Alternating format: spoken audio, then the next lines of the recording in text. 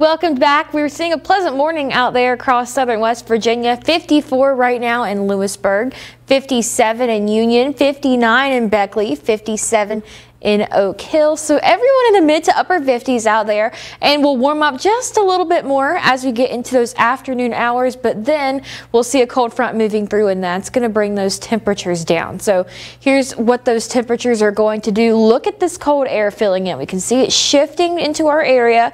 Right before it comes in though, we're going to be at 68, the upper 60s. So it's going to be warm again by early afternoon. This is at 1 o'clock.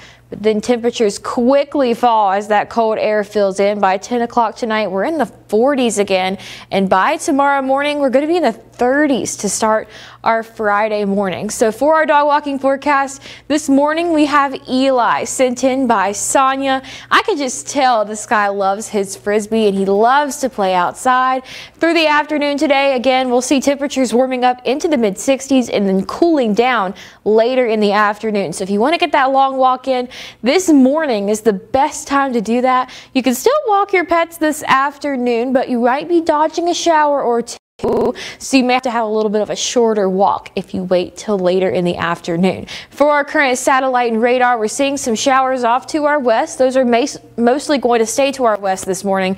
We're dry out there right now. We're seeing some clouds filling in though with those showers to our west. Here's that main line of showers moving and shifting in from the, the south excuse me, southwest to be exact. That's going to continue to push in this direction through the day today, but staying mostly to the west this morning. For that chances of rain, we're going to be seeing showers tomorrow morning lingering from this frontal system moving through. And then after that, look at that. We are dry through the end of the week, dry through the weekend, and even dry through most of next week.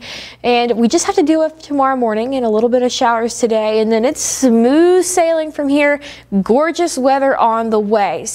It's going to be very nice and very dry over the next week or so. So we'll see showers staying to our west this morning, but that doesn't mean we're out of the woods. This afternoon, we could see some showers popping up around 2 p.m. as that front begins to move through. Even some thunderstorms at times as we get into the afternoon.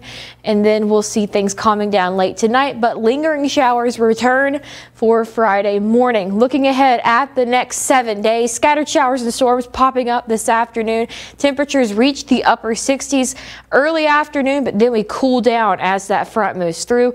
That keeps us in the 50s for Friday Friday and Saturday. Easter Sunday, though, gorgeous high of 60, plenty of sunshine, and that continues into the week next week. We slowly warm back up into the upper 60s, even the low 70s by Wednesday of next week, and plenty of sunshine to go around.